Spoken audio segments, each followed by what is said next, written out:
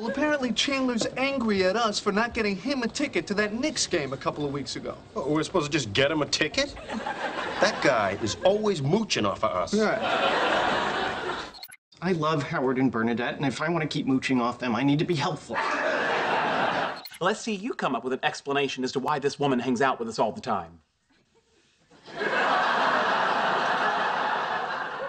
Okay, you know what? I've already mooched dinner off you guys. I don't need to listen to this. There's your answer free food.